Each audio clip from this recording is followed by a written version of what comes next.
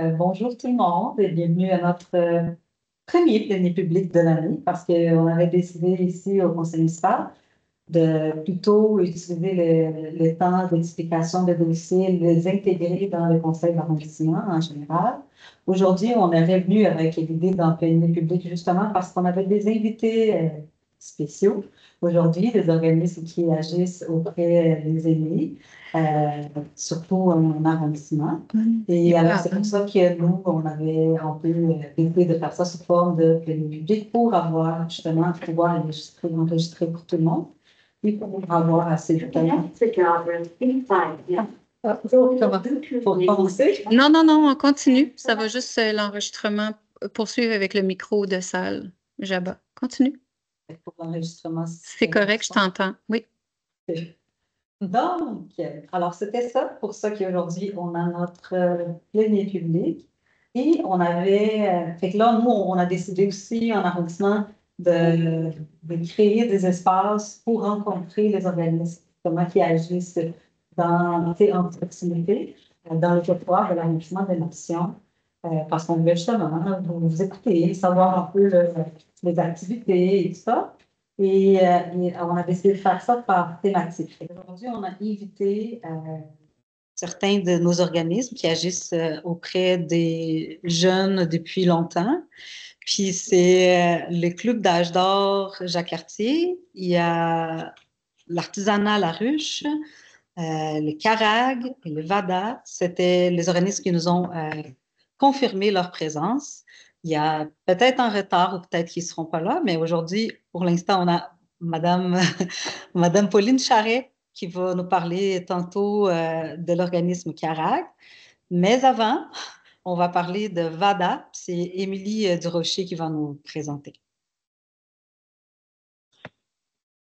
Euh, donc, avant, euh, avant de commencer avec euh, la présentation des organismes, effectivement, on souhaitait pouvoir parler de VADA. C'est Émilie Durocher, qui est agent professionnelle à la division loisirs communautaires, qui, qui est en charge de ce dossier-là. la caméra. Est fermée en traînant, toute noire. Parfait, super. Donc, euh, VADA, ce que c'est, en fait, euh, ben, c'est en fait un acronyme qui veut dire euh, Ville Islamique des aînés. Euh, je ne sais pas est une des seules villes qui utilise vraiment le terme VADA. Donc, euh, la, la, plupart des municipalités dans les grandes villes, on va utiliser plus VADA, donc Municipalité des aînés. Ça veut dire la même chose.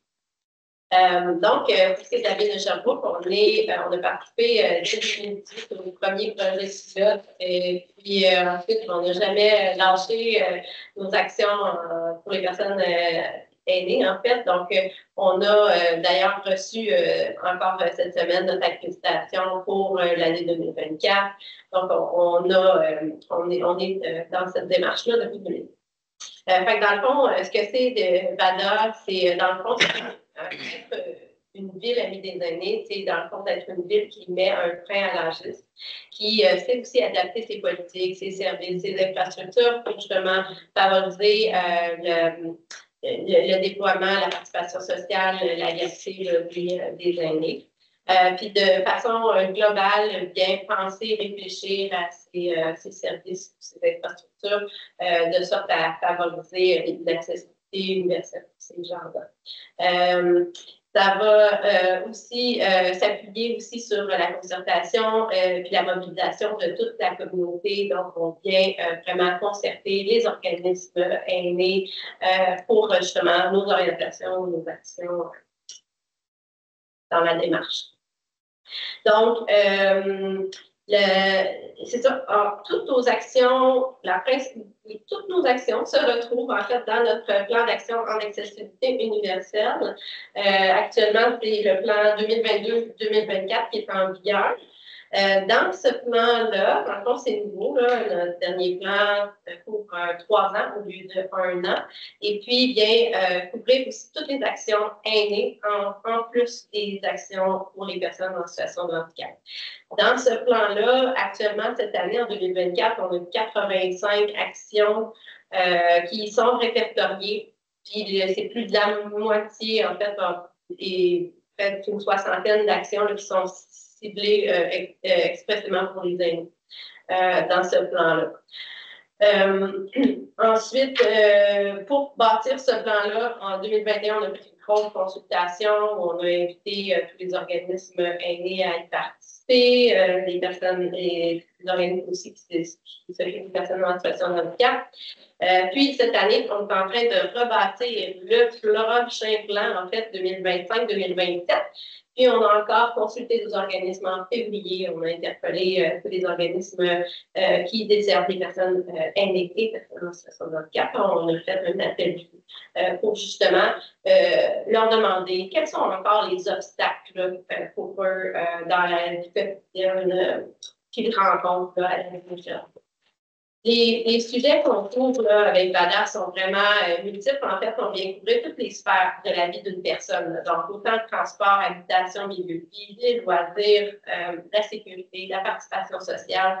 On va même, euh, même un petit peu dans le service santé, services sociaux. On entend, ce qu'on entend par là, c'est d'aller aider au référencement. Et donc, on a des certaines actions qui touchent tous ces volets-là. Euh, je pense que ça fait pas mal de tour. Fait que dans le fond, ah oui, un, un bon coup qu'on a fait euh, dernièrement, cette année, en fait, euh, c'est de se rapprocher de la concertation aînée de Sherbrooke.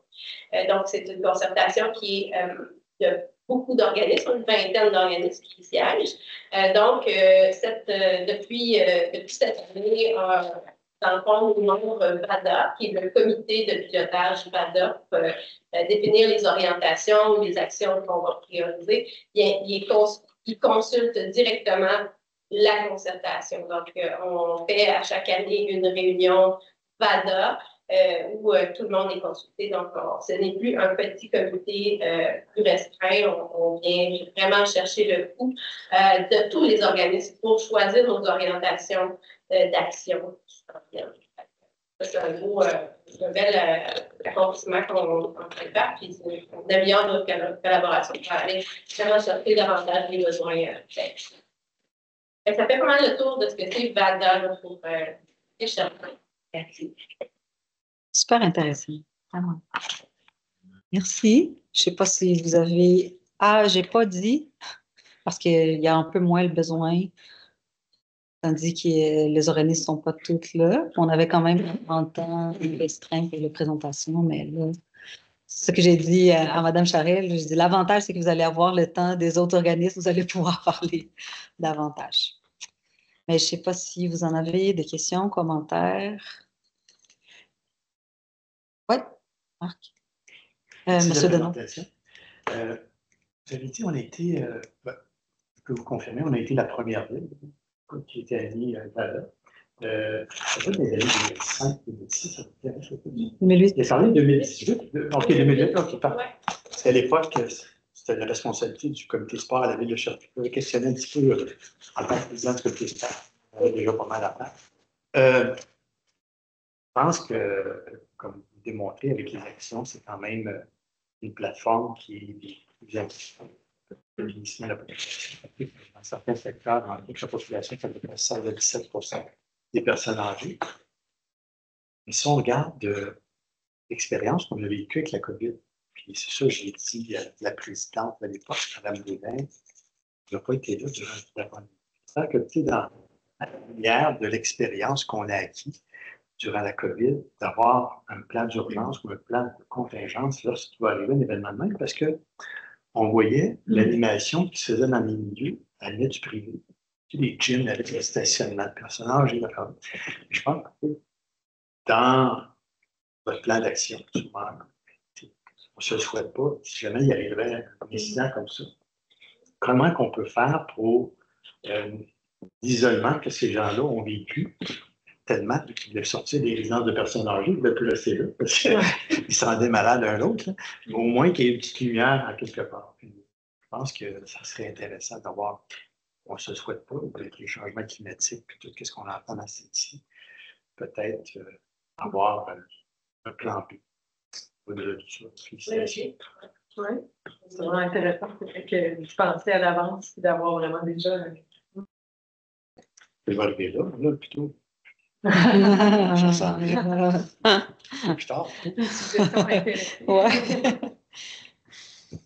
Est-ce qu'il y a eu euh, durant la période de la COVID? Est-ce que vous avez complètement arrêté les activités, les organismes, ou est-ce qu'il y a eu quand même...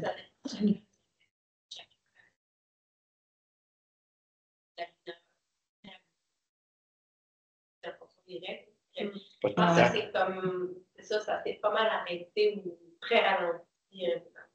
Oui, selon les règles sanitaires. Là. Puis est-ce que ça se peut-tu que euh, pour. En tout cas, moi, moi j'ai compris, à un moment donné, j'ai posé la question, c'est quoi la différence entre VADA et VADA? Il n'y en a pas. Mais il y avait aussi le fait que je, pense justement, M. Deneau, il vient de dire que c'était un projet pilote hein, quand la ville a embarqué, puis ça s'appelait de même VADA. Puis nous, on a gardé ce nom-là parce que nous, le projet pilote s'était fait à Sherbrooke, puis on a gardé l'appellation, mais finalement, ça a changé après. Le programme a changé, il a changé le nom, et nous, on avait gardé.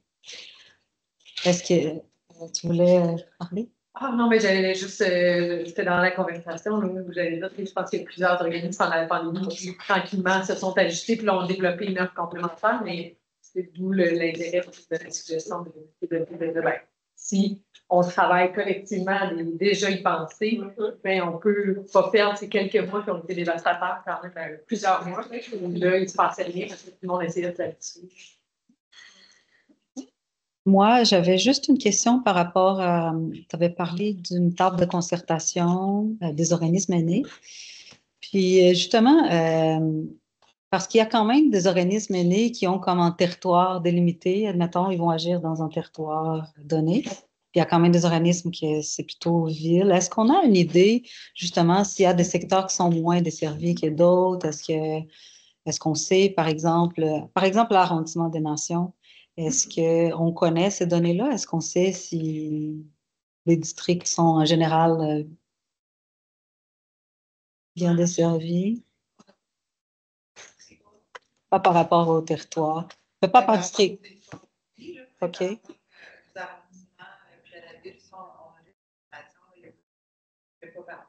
Fait par, par arrondissement, vous direz quoi? C'est comment à peu près que c'est bien, qui s'est distribué? Euh? OK. Il n'y a pas d'arrondissement qui ne suit pas, mais maintenant, les arrondissements sont bien déterminés. Ça pourrait, être une, ça pourrait être une bonne idée de, de regarder ça. Puis, est-ce qu'il y a, est-ce que la ville offre ça ou un autre organisme en soi offre l'accompagnement pour un groupe de citoyens qui veulent, par exemple, ou, ou, ouvrir un OBNL, un organisme qui agit. Euh... En fait, euh, pour le démarrage, le PNR, on a un partenariat avec euh, le Centre d'action bénévole. Mm -hmm. Donc, c'est vers eux qu'on oriente les groupes pour pouvoir avoir un accompagnement qui, est adéquat. Nous, on prend le relais comme municipalité une fois qu'ils sont animés. OK, parfait. Mais au moins, on peut référer à quelqu'un. Ça serait peut-être intéressant, nous, qu'on ait cette vision globale-là, de savoir, ben, tu sais, est-ce que, où est-ce qu'on a plus de groupes et où est-ce qu'on n'a pas du tout, puis est-ce qu'il y a le besoin ou pas le besoin? Parce que c'est vrai qu'en général, la population de Sherbrooke est une population euh, vieillissante. Il y a quand même des fois certains quartiers qui a des concentrations euh, quand même là, de résidences, de logements pour personnes plus âgées. Puis là, je me demande là, si c'est s'il y a une corrélation ou non. On a développé une carte des milieux de vie aînés euh, et des milieux de vie pour personnes en situation de handicap. Donc, on sait où reste bon. aînés, jusqu'à en a de la, densification. Là. Euh, donc, et c'est ça, euh, c'est souhaité par le, le comité PADA, justement, d'aller explorer et d'aller voir où il y a des lacunes en termes oui, de bon, c'est ça. Ça, c'est euh, dans les projets. Ah, c'est parfait. Parfait. Merci. Est-ce que M. Deneau voulait faire une autre intervention? Madame la Présidente, c'est quand même difficile, je suis convaincu pour eux autres, de recenser. je vais prendre l'exemple. À l'époque, on avait le club d'argent de Saint-Boniface, club de plein air Saint-Boniface. Je pense qu'il y avait 700 membres, ils venaient de partout à travers la ville. Et lorsqu'on allait à Saint-Charles-Garnier ou on allait au parc cartier on revoyait les mêmes personnes. Bien des fois, les gens s'inscrivent dans des activités. Ce n'est pas pour le lieu physique, c'est pour l'activité ou la personne qui l'organise bien. Mm. Mm-hmm.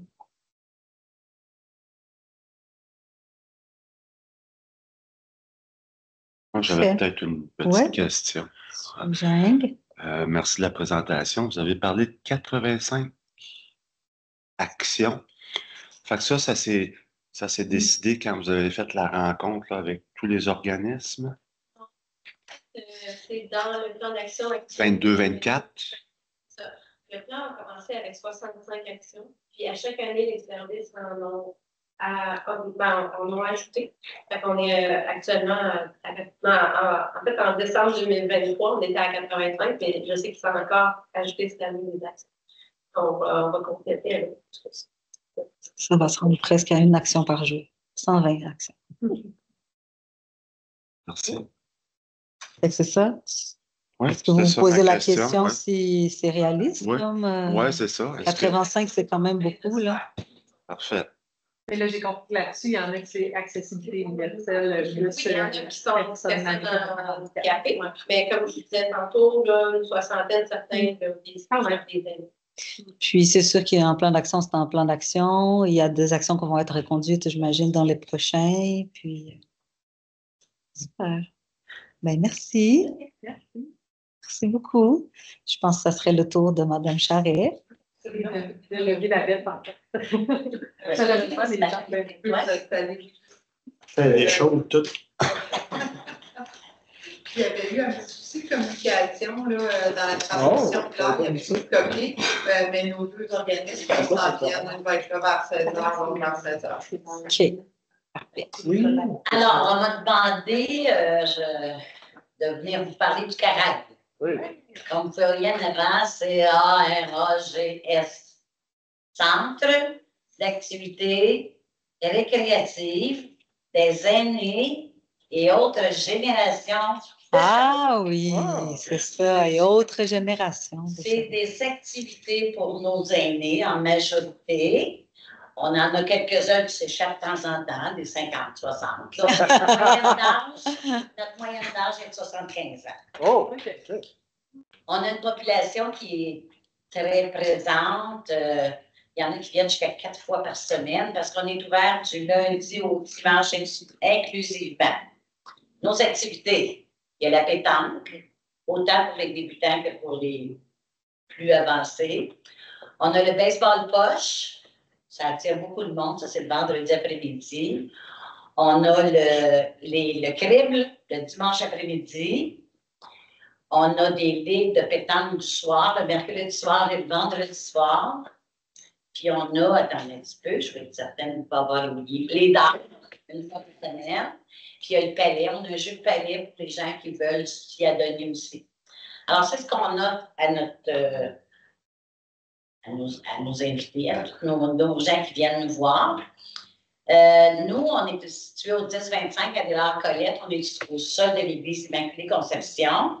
Anciennement, on était euh, sur Belvédère, où l'ancienne caisse qui a été détruite, Sous-sol, au sous-sol, où c'était. euh, t'es abattu. c'est ah, c'était- c'était pas drôle. on a aménagé. On a aménagé à- à- au sol de l'église. On, est- on a investi beaucoup d'argent parce que les allées de pétanque, c'est pas évident faire ça dans un sol. Quand même, ce soit assez grand, puis qu'on ait de la place pour euh, voyager tout le tour. On avait des salles de bain. On a tout ce qu'il faut pour euh, répondre aux besoins de nos gens.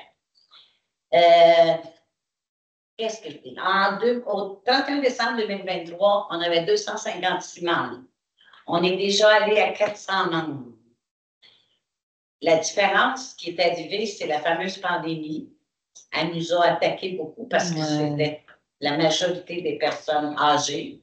Fait qu'il y en a qui ont complètement arrêté de venir parce qu'on demandait les vaccins, on demandait le masque, on, fallait qu'il y ait des distances entre les gens. On opérait quand même, mais rest- restrictif.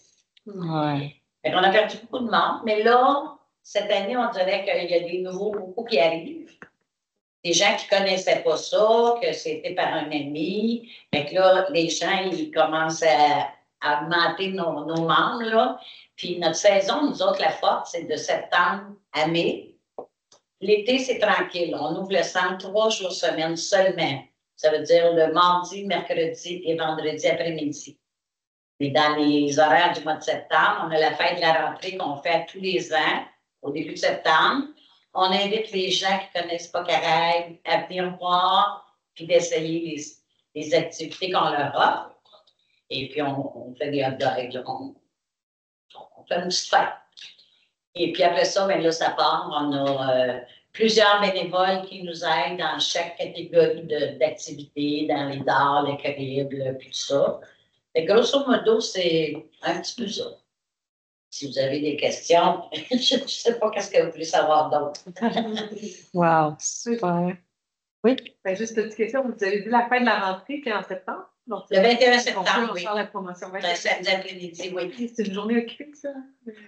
C'est le bout, il y a la fête au bois Béquet. puis, euh, Ah, il y a beaucoup de choses le 21 septembre. Moi, C'est j'ai pas tout le d'accident 21. maintenant cette journée-là. On va se faire un peu. Il y en a d'autres qui vont souhaiter du beau temps, et vous, vous allez souhaiter du mauvais temps, puis qui ira chez Ben oui, c'est ça. Malgré que Ça sera le plan. les gens, là, sont fidèles, ils vont venir pareil, même si- ben oui, ben oui. C'est certain qu'on perd des joueurs l'été parce que les, les, joueurs, les, les joueurs de pétanque aiment beaucoup jouer dehors. Dehors.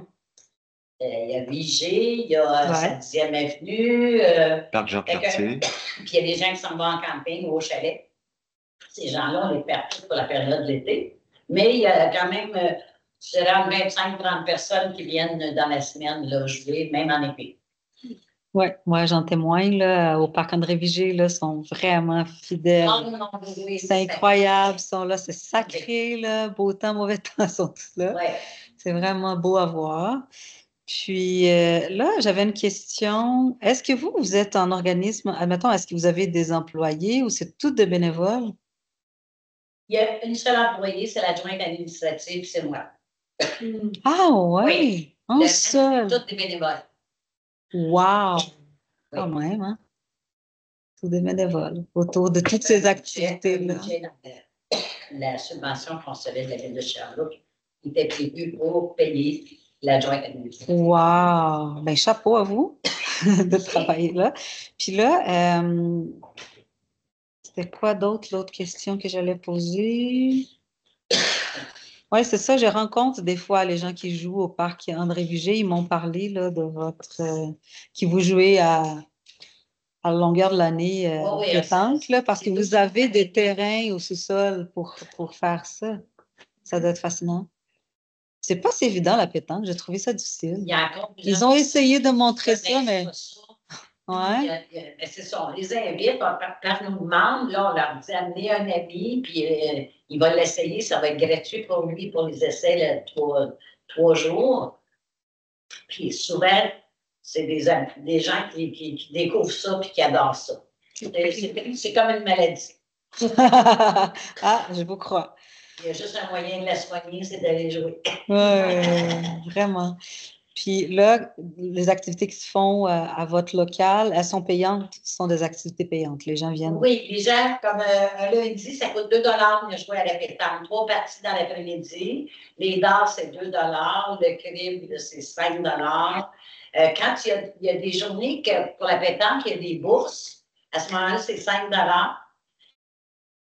Il y a deux pièces qui vont au carré, puis le, le, cinq- le trois pièces qui reste c'est pour redonner aux gens qui gagnent les parties. Un petit cadeau, un petit Ouais. pièces, là, parce que leur, leur équipe a gagné le, la que c'est toujours trois parties qu'on joue euh, dans une après-midi ou dans une soirée, la même chose. Et puis c'est ça, il y a des journées que c'est, quand il n'y a pas de bourse, c'est 2 pour venir jouer. Fait que 2 pour un après-midi de pétanque, euh, c'est vraiment pas cher. C'est symbolique. Il est possible qu'en septembre, mais c'est pas possible, ça va se faire là, ap- après la fête du travail, on augmente de 1 dollar. Parce que nos finances, la pandémie, Tout le monde fait souffre l'inflation. Les membres ont fait mal. On ne voulait pas augmenter nos cartes de membres. Ils sont 30 dollars pour Sherbrooke puis 45 dollars pour les gens d'extérieur. Par année? Euh, mais là, on a dit on va augmenter d'un dollar nos jeux. Fait qu'au lieu de deux, ça va être trois. Au lieu de cinq, ça va être six. À partir de la fin du travail. Super.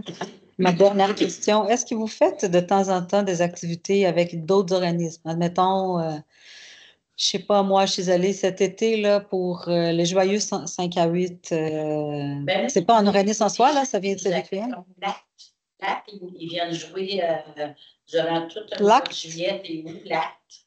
C'est des personnes, euh, problème cérébral. Ah oui, oui, Après de... ça, on a le centre euh, multi-loisirs. Mhm. On a des groupes qui viennent jouer à pétanque, qui viennent jouer au baseball poche. Ils nous appellent, ils réservent une journée. OK, ah, OK. Les, les portes. Wow. À part ça, là, j'essaie de penser s'il y en a d'autres. euh, J'en vois pas d'autres.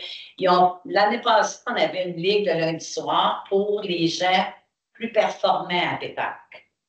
Il y avait des malgaches, malgaches puis des, des gens qui sont très forts à la pétanque qui venaient jouer au centre euh, lundi soir. Je ne sais pas si ça va se refaire cette année. Là, on va savoir euh, bientôt. Puis est-ce que vous avez, là c'est dans le dernier promis, est-ce que vous avez des, parce que là je vois léger et autres générations, Oui. est-ce que vous faites de temps en temps des activités où vous, vous invitez les... arrive, euh, les jeunes depuis moins longtemps? Quand les enfants sont en vacances, il y a des grands-parents qui amènent leur, leur petit-fils ou leur Ok. petite-fille pour jouer avec eux. Ah wow. Ça, c'est c'est là qu'on va chercher un petit peu les autres générations. Mais euh, quand même, tu sais, on ne peut pas demander à des enfants de venir jouer avec eux, là. Ça ne serait pas de mise. Puis les personnes âgées, elles n'aiment peut-être pas ça. Oh, c'est dommage. Mais ils sont quand même ouverts, là. Mais, euh, euh, ils rentrent dans le centre, ils s'en viennent jouer à pétanque, c'est fini, ils s'en vont, puis on n'en parle plus. Il y a des gens qui nous appelaient pour voir s'ils pouvaient rencontrer nos aînés pour leur soumettre des projets ou quoi que ce soit, des médicales ou euh, peu, peu importe.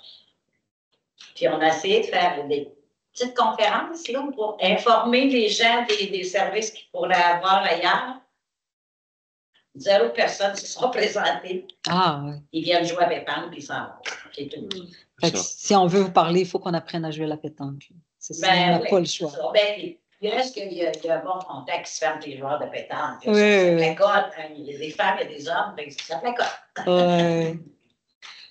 Là, j'ai Madame euh, Laroche, puis après c'est vous. hein? Ben, monsieur Jean, vous n'aviez pas le. Ben, C'est c'est juste que je vois. dans les six questions de Mme Louze, il y en avait deux qui venaient de moi. Fait que tout est correct, c'est tout réglé. Ben, moi, je vous félicite. Je trouve ça super intéressant. Je vais prendre mon. Non, non, c'est pas grave. Moi, je viens de la paroisse Marie Médiatrice et qui était souvent associée avec Saint-Esprit. Et puis, ils ont perdu, sont sur le point de perdre un AFEAS. Euh, ils ont perdu leur club euh, d'âge d'or. Euh, il ne se passe plus grand-chose. Quand je vois pour Immaculée Conception, quelque chose comme ça, je trouve ça très encourageant. Et puis, je pense que, en tout cas, moi, je, vais leur parler de ça, s'ils pourraient peut-être se baser sur la manière dont vous fonctionnez. Parce que dans un sous-sol d'église ou dans un... C'est important. C'est ce qui fait, je pense, le plus mal aux gens, c'est le manque de communauté Mhm. surtout depuis que l'Église n'est plus là, pour, pour les gens de cette euh, génération-là, surtout, c'était, c'était le perron d'Église et les, les activités communautaires, et c'est plus là, là, fait que les gens se sentent seuls, Mhm. ils veulent pas adhérer au mouvement, et je les comprends, aux mouvements sociaux, aux réseaux sociaux. Il n'y a rien comme une bonne discussion autour, euh, autour de, de, de ce que vous faites. Alors moi, je vous félicite. Merci. Merci beaucoup.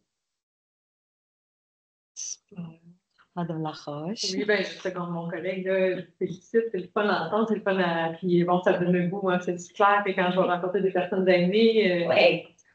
sais, je vais les Des encourager. fois, on appelle ça notre garderie. Ah Parce que vous savez qu'une personne est née, puis il est tout petit, là. Des ressemblances.